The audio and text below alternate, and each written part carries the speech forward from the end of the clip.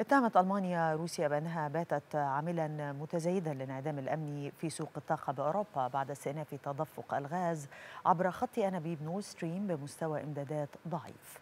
أكد وزير الأقتصاد الألماني روبرت هابك أنه لم يكن هناك ما يمنع تقنيا خط نور ستريم من العودة إلى العمل بكامل طاقته بعد عمل الصيانة.